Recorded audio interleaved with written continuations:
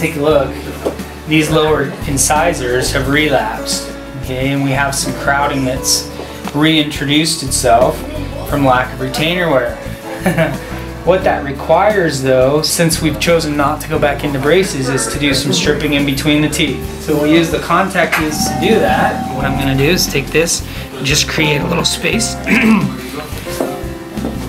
and then the spring aligner will be able to move the teeth in the direction that they need to go. So during, you may feel just a little bit of pressure here as I'm using this ContacEZ. So I actually need to create quite a little bit of space. Normally we do this over the course of a couple appointments, but since so we don't have a whole lot of time, Uh-oh.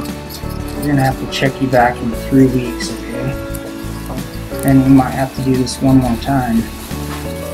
And then you just keep wearing this retainer, it will continue to work. And then I'm gonna have you continue to use this every night.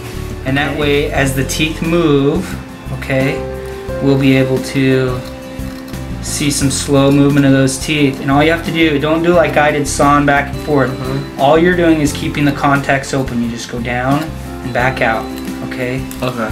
And then down and back out. Down and back out. All the way from front of the canine to front of the canine. Okay.